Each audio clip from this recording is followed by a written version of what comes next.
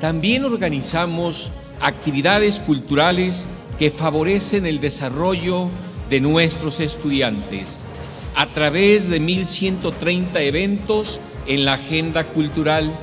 mientras que las desarrolladas en los planteles sumaron más de 700 eventos, 430 clubes y 80 talleres culturales.